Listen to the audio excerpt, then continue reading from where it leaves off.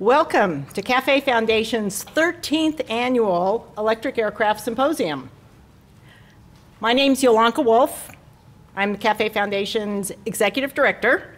I want to thank CAFE board members Jeff Heimer, Bruno Mombrini, and Todd Hodges um, for being here and all of their help uh, to set this up. I also want to thank John Palmer Lee, who is also a board member. He's not here, but all of the back end stuff on the website and the registration, everything is his bailiwick, and he's been phenomenal uh, handling that. And I want to thank Dean Sigler. I think many of you know Dean or read his columns. He uh, does an amazing job writing our blog for us, and we really appreciate the work that he does. Finally, last and certainly not least, I want to thank Vertical Flight Society. Last year, Vertical Flight Society came in as a, as a sponsor to do the video, uh, videography. This year, we have formed a full-on sponsorship or partnership to, to going forward to put on this conference. Um, uh, Mike and Ken have been invaluable over the last couple of months helping me uh, to organize this conference. I'm really excited going forward about doing this with them. And Warren and his team are, have done a great job on the videography. So I really appreciate that. Uh, please give Vertical Flight Society a hand. I'm going to take a couple minutes to tell you about Cafe Foundation. Um, a friend told me I should open with a joke. Um, unfortunately, the story I have is not a joke, it's true. One of our attendees just ran and said, I can't stay. I just learned that the roof blew off of my house and my dogs are running everywhere. So I really appreciate those of you who are able to make it. Um, I know a lot of you had some major travel struggles, and I hope everybody's roofs are still on their houses. CAFE stands for the Comparative Aircraft Flight Efficiency Foundation. For 35 years, our nonprofit has supported the development and implementation of efficient, fuel-efficient flight. And for the last decade or more now, we have turned our focus towards electric flight. In 2007, 13, or 13, yes, 13 years ago, we convened our first electric aircraft symposium. This annual conference brings together industry leaders to share the latest developments in electric aviation, reducing aviation's environmental footprint. In 2011, we hosted the NASA Green Flight Challenge at our flight test center in Sonoma County, California. The purse was 1.65 million, the largest prize in aviation history. Our mission is to advance the development of low emission flight by fostering and promoting early entry, practical market opportunities.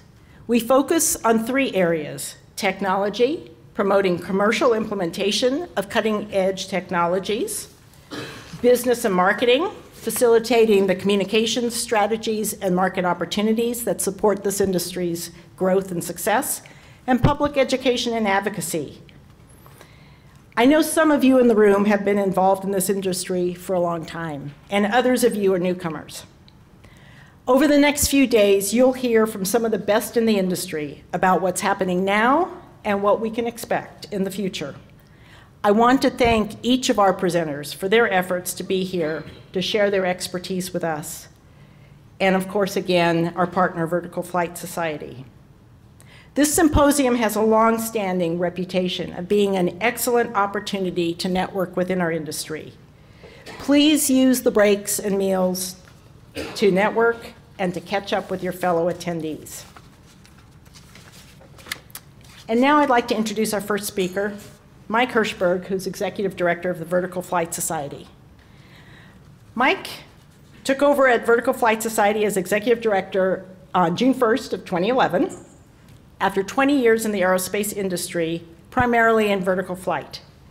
As executive director, he's responsible for the execution of strategic direction set by the board of directors.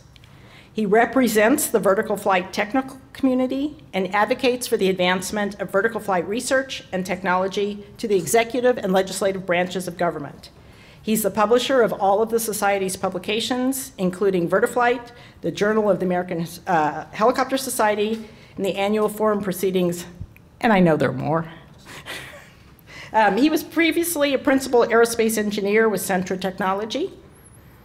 Uh, he uh, providing over 10 years of support to DARPA and the Office of Naval Research on advanced aircraft and rotorcraft concepts. Prior to this, he worked uh, in the Joint Strike Fighter Program Office. He's an internationally known lecturer and um, author or co-author of more, more than 100 publications on helicopter, VSTOL, and advanced aircraft developments. He holds a BS in aerospace engineering from University of Virginia and ME in mechanical engineering from Catholic University of America. And he completed an MBA at Virginia Polytechnic Institute and State University in 2013. Please welcome Mike. Vertical Flight Society, we were founded uh, originally as the American Helicopter Society, but um, after many years of, of debate and discussion and uh, um, consideration, I was finally able to get the board to, to change the name of the, of the society to the Vertical Flight Society, which is a better uh, explanation as to, uh, to, what, to what we are. Um, okay, here we go. Um, so we're everything from uh, from micro vehicles through Joint Strike Fighter and kind of everything in between. Um, we're an educational nonprofit, so our our whole mission in life is to ed educate people and to advance vertical flight. Um, and it's a it's a great partnership with CAFE to be able to to uh, to collaborate and expand uh, you know, our expertise and our knowledge and, and help the electric, uh, community, electric uh, aviation community advance. Uh, mentioned um, some of the other things, advocacy and, uh, and uh, bringing the community to get together on different important issues. Um, so I'm going to talk about some of the different things that we provide, or different resources. So these are um, uh, I'll go through some of these charts rather quickly, but you can refer to them later. But basically, you know, we are 75-year uh, uh, experts on vertical flight, and there's uh, if you're interested in eCTOL, then uh, sorry eVTOL, then that's a uh, we're a great resource. And can I just get a show of hands? So how many people would consider that they're really more eCTOL, you know, fixed wing horizontal takeoff and landing people?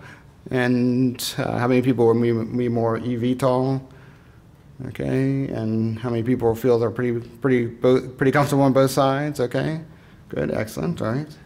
Um, so these, a lot of these resources will be more targeted towards uh, um, towards vertical flight, obviously. But um, so we have the Verti Vertiflight magazine, which was copies on all the tables. Uh, we have a technical journal, a world's only journal on uh, vertical flight. We had to keep the name uh, because of the way the scientific journals work, so it still is the, actually the Journal of AHS, even though we changed our name. Um, so we have lots of online resources. So there's a uh, professional um, uh, community of discussion boards and, and resources. So hover.vtol.org. Uh, we've been building a, a, Vertipedia, so sort of the vertical flight encyclopedia. Um, we can use help on that. Uh, we have lots of photos, uh, career center, uh, STEM, pre-college outreach, website. We're trying to educate the world. Where's the receiver for this? Is this over here?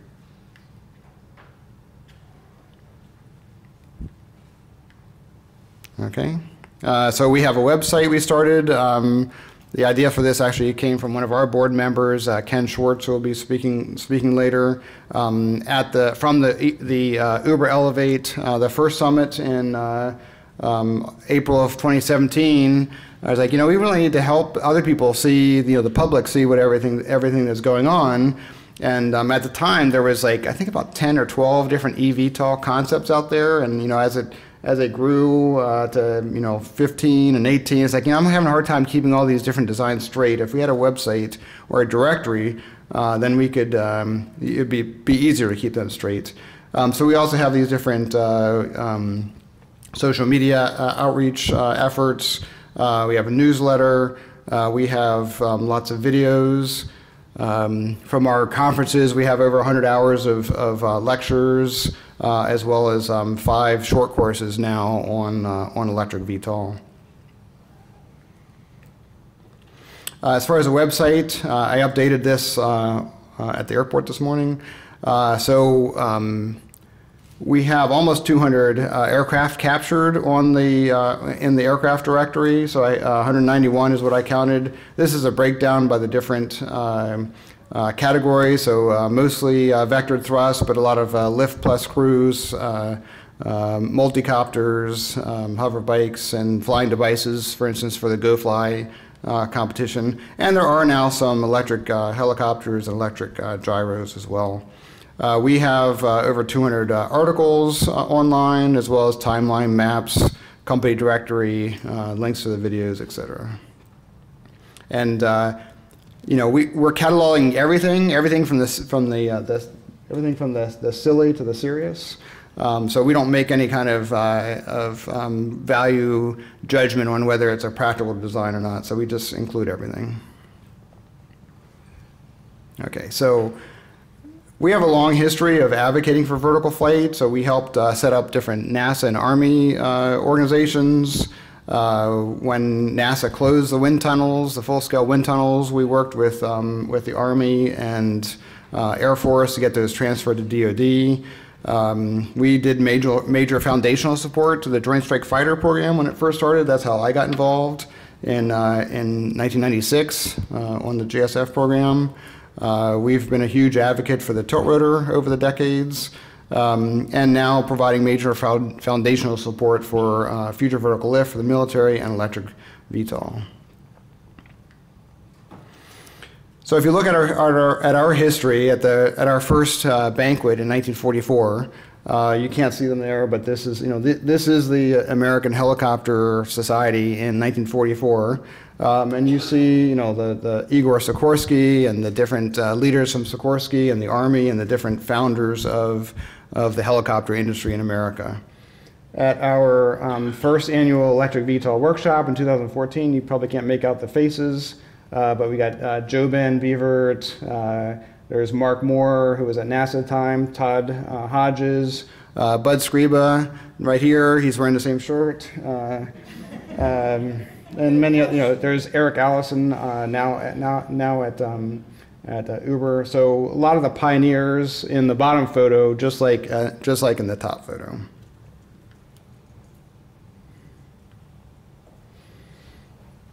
And uh, it was really in uh, 2013, uh, Mark Moore, who was then at NASA, uh, was you know telling me that there's this revolution coming. Uh, so I said, well, all right, well let's uh, you know this is going to really advance vertical flight. Let's let's get to it and start working on bringing the community together and to understand this and seeing how we can work together together to advance this. So you've seen some of the different. Um, the different conferences each year. most of them are, have been video recorded. Uh, so they're online and available. Uh, our next, our, our next one will be in January of uh, 2023, uh, sorry, January 2020 in, in San Jose. Uh, and um, we invite you guys to come. There's more information coming on that. Um, so Uber Elevate, uh, we've been supporting them since uh, since the beginning. So they announced at, at a joint conference, the IPLC that we had with with SAE in 2016. Um, I'm in the white paper as a contributor. Um, you know, we get, we get highlighted at each of the summits with the, the, the VSTOL wheel or, um, or in other ways. Um, they're a corporate member and they help uh, teach a, uh, a, short course that we have video recorded on aeromechanics and acoustics.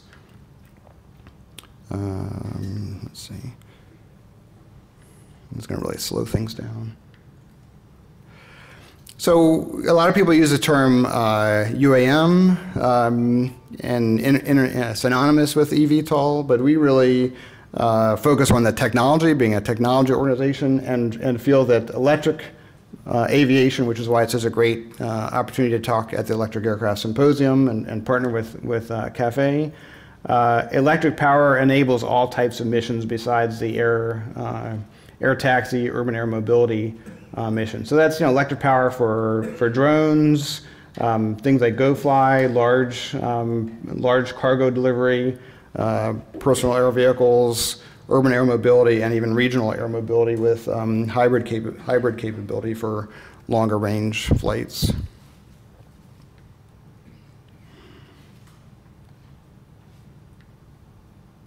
All right, I'm gonna have to say next slide. So next. Uh, so our magazine, uh, we do cover, we do still cover, cover helicopters and other rotorcraft, but these are some of the uh, issues we've had over the last uh, two years on uh, on eVTOL. So looking at the different types of disruptive technologies and approaches. Next, uh, and the next slide. Uh, and the transformational capabilities that, uh, that they uh, provide, both from everything, as you can see here, from uh, ultralight uh, eVTOL to single passenger, uh, multi passenger for the Uber mission. Next. So, can electric power be applied to um, helicopters? Well, um, it's been tried. so, this is the Sikorsky Firefly, and in that picture, you see all the different uh, attempts, uh, sorry, all the different uh, hardware that comes out if you switched, converted um, a helicopter from gas to, to electric power. Um, so you got the engines, the transmissions, the gear shafts, um, fuel systems, everything. Of course, you got the big batteries on the other side, each side of them, and, and uh, they never actually flew it. Um, this was about 10 years ago now, and just the batteries weren't mature and uh, they were having issues with uh, thermal management. Um, but there's lots of things that you can get rid of if you um, uh, don't try and that electric power enables for a vertical flight that you can get rid of from a helicopter. So you can get rid of all the really expensive, complex, uh, heavy uh, pieces of, of uh, components you know, the cyclic collective and swash plate, the transmissions, gearboxes, shafting, hydraulic power, stuff like that. Uh, so you replace a single complex system with lots of really simple thrusters for um, distributed electric propulsion. Uh, but the key for efficiency is to get on the wing. So batteries don't have as much uh, energy density as gasoline. Uh, so if you compare it to a uh, helicopter, uh, it's not going to be as efficient in hovering. But if you can get on the wing, you can get much longer range and, and higher speed. Um, and one of the really key enablers that electric power provides for, uh, for eVTOL is noise. So the whole vision of urban air mobility is that your aircraft will be quiet enough that you can operate in, in high density city centers uh, and transport people where they are. So helicopters today are considered too noisy, uh, so they're pushed out uh, to where people aren't, basically.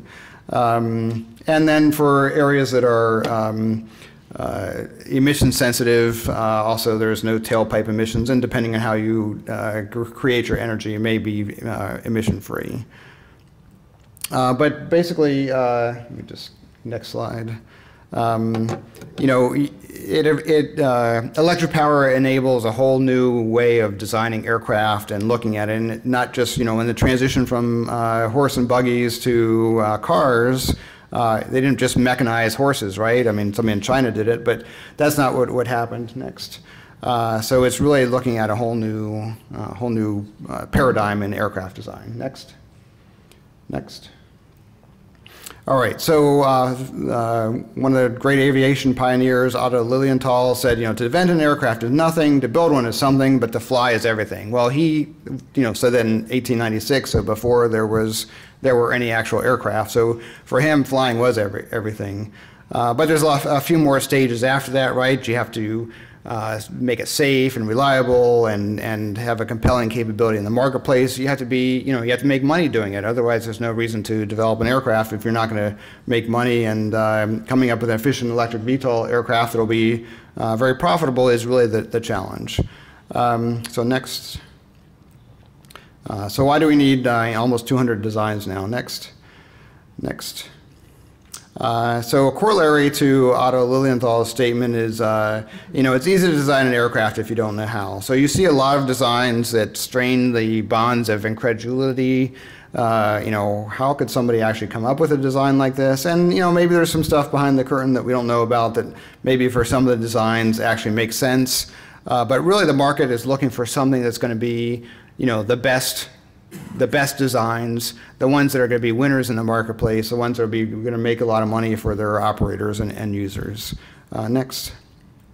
Uh, so there was a famous saying I learned in, uh, as a, as a uh, student, as an engineering uh, student. So if you want to end up with a small fortune in aerospace, you need to start out with a large one, right? Uh, because it takes a lot of money to develop an, an, aircraft, and lots of fortunes have been spent in developing or trying to develop uh, revolutionary technologies such as aircraft without actually succeeding. Next.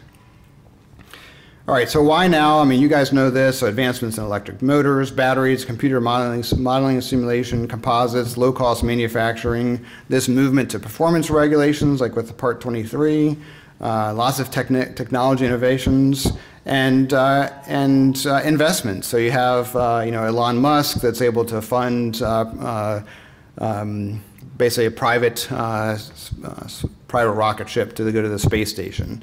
Uh, so there's a lot more money now that's uh, that's going into aviation, which is fantastic because in the last you know 100 years, most of the money that have, that's gone into aviation has either come from the, the OEMs, the companies themselves, uh, or for the government. So now we have really tech money going into aviation. Next. So this is uh, called the Gartner hype, hype cycle. Um, I think it applies very, uh, very well for where we are with electric aviation and, and particularly electric VTOL.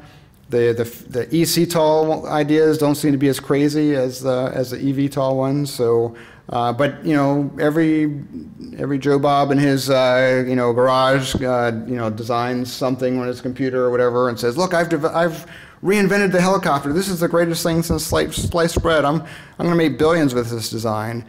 So there's this self-perpetuating, you know, peak of inflated uh, expectations, and just like the dot-com boom of the late 1990s, there's going to be a bust. Uh, unfortunately, uh, you know, we're still going up that hype cycle. Uh, so next chart. So one of the things that we're trying to, okay, so there we are. Next.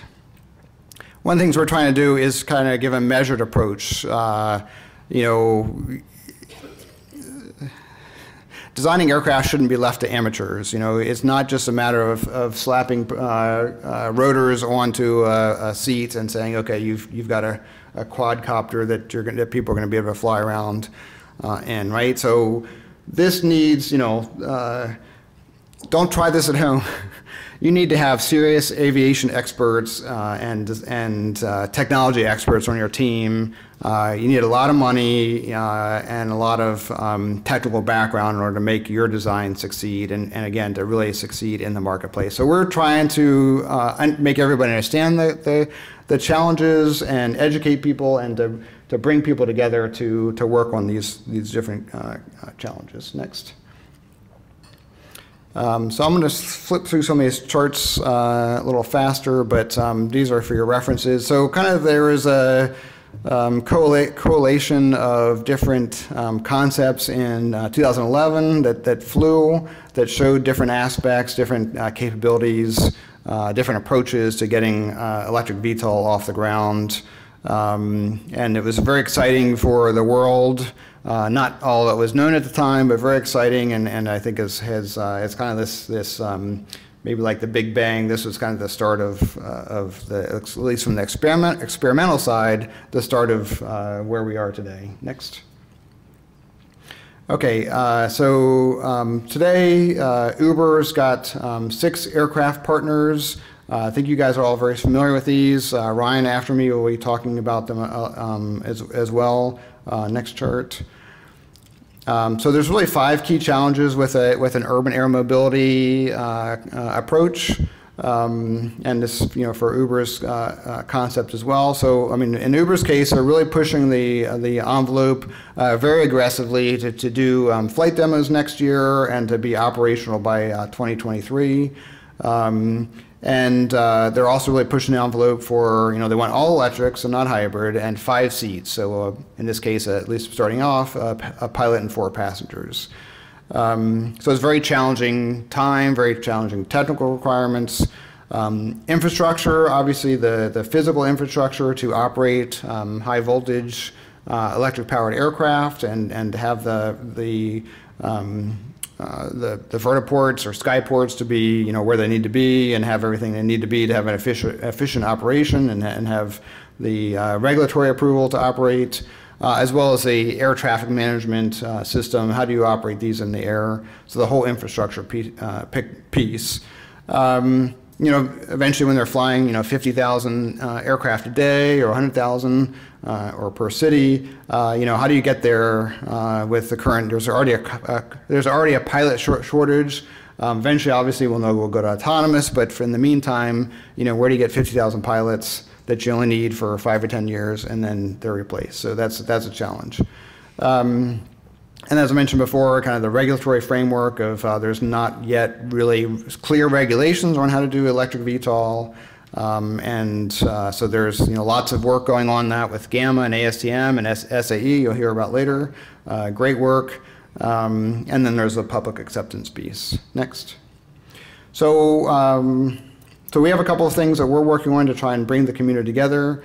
Um, so we have a workshop looking at what we see as the, really the, the defining challenges uh, infrastructure, um, system safety, uh, particularly for certification. You know, what do you, how can you design an aircraft that's going to be certifiable? Um, that's you know that's a challenge, um, and aerospace management as well. We have our seventh annual technical conference uh, on uh, on electric VTOL. Um, so we have, do have technical papers with that, as well as we'll have a, a symposium, uh, which will have invited speakers. So I encourage you guys to, if you're interested in learning more or participating more, uh, to look at those two events. Next. Uh, we do also have an annual forum, which is the world's largest vertical flight uh, conference. It's this year in, uh, sorry, next year in Montreal. Um, about 1,400 attendees, and we always have a whole day of uh, eVTOL um, uh, panels and discussion as well as a, a short course. Next. So um, you guys are all invited to join the Vertical Flight Society, even if you're not interested in the vertical flight aspect. We think we still would have a lot of uh, benefits and um, you know networking uh, abilities, and, and there's a lot of technologies, standards, a lot of things that are uh, very complementary and similar for both vertical and uh, conventional takeoff and landing aircraft. Um, so thank you very much, and I'll be here both days if anybody has any questions, and we'll have our discussion panel afterwards. Thanks.